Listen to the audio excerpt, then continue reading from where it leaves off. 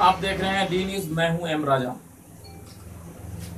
आइए, आज आपको घनश्यामपुर की खबरों से रूबरू कराता हूँ।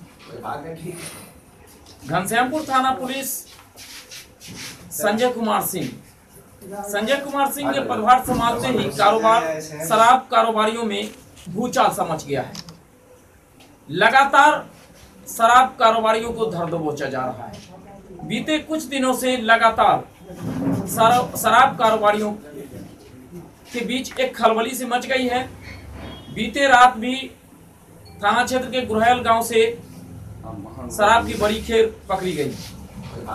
अब आइए जानते हैं किस फिल्मी अंदाज में संजय कुमार सिंह ने बीते रात छापामारी कर शराब के साथ शराब कारोबारियों को धर दबोचा हाँ लिया लिया। कोई किस तरह शराब जब्त की गई है? कल शाम से ही सूचना मिल रही थी कि जो शराब माफिया हैं और शराब का एक खेत लेकर के घनश्यामपुर थाना क्षेत्र अंतर्गत गोरहेल गाँव में आने वाला है। और इसके लिए हम- गोरहेल गोरहेल गोरहेल। गोरहेल हाँ और कल शाम से ही हम लोगों ने नाकाबंदी कर रखा था अलग अलग जगहों पे। सफलता नहीं मिल रही थी। रात अचानक करीब बारह बजे जानकारी मिली कि नहीं लोकेशन इसका है। और उसी के संदर्भ में हम लोगों ने दलबल के साथ वहाँ गए और जो जगह बताया गया था, जब वहाँ पे हम लोगों को पहुँचा तो देखा क्या कि एक विशाला मंदिर है ग्राम गोहेल में। मंदिर के अंदर के करीब सटे पूरब सड़क है।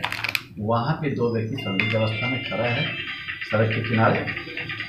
तो हम लोगों को देख करके वो भागने का प्रयास किया। जिसमें से एक को हम लोगों ने अपने दलबल के साथ पकड़ लिया। और पकड़ाए हुए व्यक्ति ने ही अपना नाम भगवान देव यादव बताया और भागने वाले का नाम उसने अरविंद यादव बताया। थोड़े अंतराल पे कुल बारह कार्टून शराब का रखा हुआ था। वही तलाश जिसमें कुल ऑफिसर्स चॉइस के बहत्तर बोतल है, जो सात सौ पचास एम का है, और मैकवेल का भी सड़सठ बोतल है, जो सात सौ पचास एम का है।